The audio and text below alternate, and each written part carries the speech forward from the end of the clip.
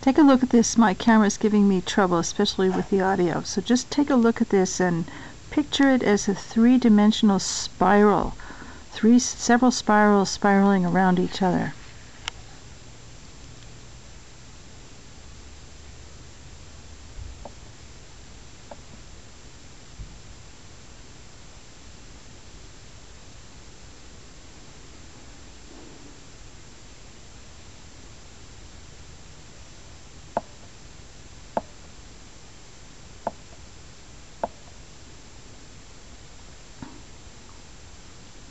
Some of this looks familiar. Some of this looks like what I've seen on Earth batteries.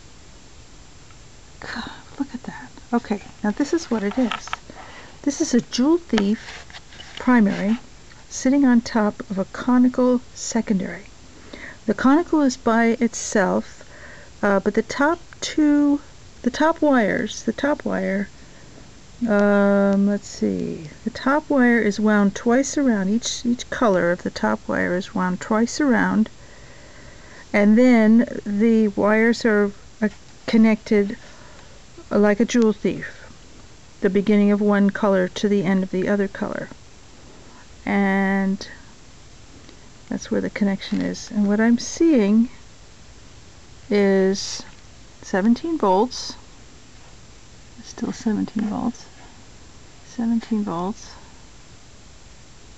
And it's amazing.